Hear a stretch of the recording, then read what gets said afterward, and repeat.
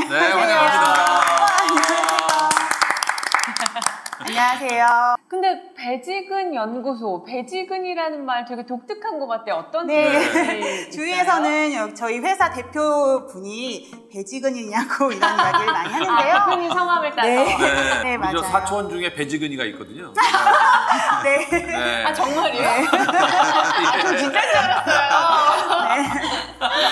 네. 네. 근데 아마 뒤에 계신 저희 배지근 제주도 분들은 제- 배지근이라는 단어를 아실 것 같은데요. 어떤 혹시 뜻인지. 아세요? 세 분은? 네. 배지근. 네, 제가 기름지게 네, 잘 배가 먹어서. 아, 그럴 때 좋게. 표현할 때 배지근하게 먹었다 아. 이런 식으로 표현합니다. 아, 음식을 네. 잘 먹었다. 네. 야, 이거 잘 먹었네를 배지근이라고 네. 그래요. 또 혹시 좀 설명이 부족하다.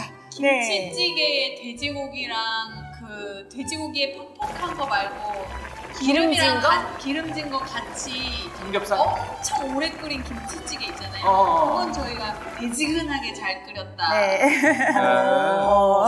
음식의 표현을 많이 기름진 하는 음식, 네. 음식을 배가 네. 음. 든든하게 먹었을 때 배지근하게 먹었다. 이렇게. 네, 네. 그 말씀해주신 것들을 종합하면 배지근이라는 단어가 거의 맞는데요.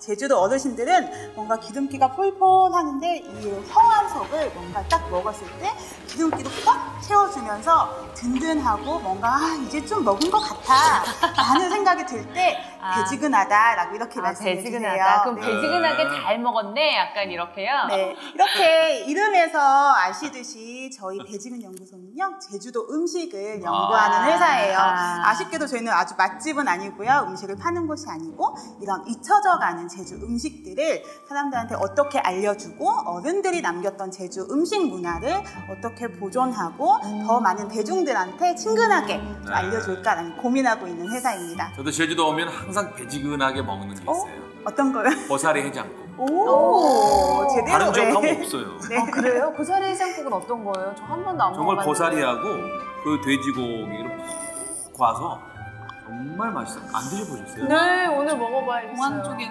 땡 네. 해장국. 아니 아니 네. 유 아, 땡땡집. 그 네. 줄 서서 먹어야 돼요. 아, 그래요. 진짜 고사리 맛있습니다. 해장국. 아, 예. 네.